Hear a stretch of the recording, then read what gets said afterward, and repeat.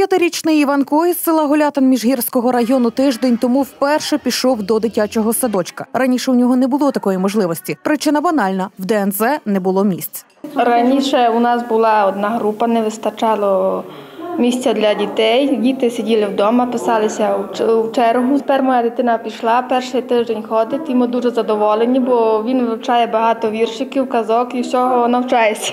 За мамою Іванко вже не плаче, малюку у закладі подобається. Але не всім дошкільнятам, які цього року вперше переступили поріг дитсадка, просто тут адаптуватися. Е, Діти проходять адаптацію краще е, з е, в маленькому віці, ніж у дорослому, тому що вони вже більш дорослі, їм важко адаптуватися. Можуть проходити адаптацію і три місяці і більше. Аби вирішити проблему із нестачею місць у Гулятинському ДНЗ, відкрили додаткову групу. Старе приміщення, що використовували як підсобне, реконструювали і облаштували всім необхідним. На це кошти виділили із районного бюджету. Ми виділили під 200 тисяч гривень на е, даний об'єкт, і це дуже вже невелика сума, е, щоб е, зробити реконструкцію під е, 25 дітей, які пішли у другу групу. Та проблема із нестачею місць у дитсадках району все ще актуальна. Дошкільною освітою охоплені 85% дітей. Хоч у кожному населеному пункті Міжгірщини є ДНЗ, але багато з них потребують відкриття додаткових груп. Цю проблему поступово, але вирішують. В минулому році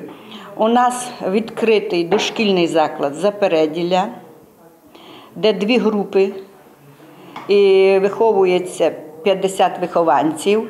У Річківському дошкільному закладі одна додаткова група. Подобовецький і Ростоківський навчально-виховні комплекси, які також перейдуть із короткотривалих груп на стаціонарні. Планується в Лопушнянському навчально-виховному комплексі теж з короткотривалого перебування дітей на стаціонарну групу. І реорганізація пройшла у Учківській загальноосвітній школі в навчально-виховний комплекс. Ну а за відкриття додаткової групи вихованці Голятинського ДНЗ віддячили святковим концертом та колядками.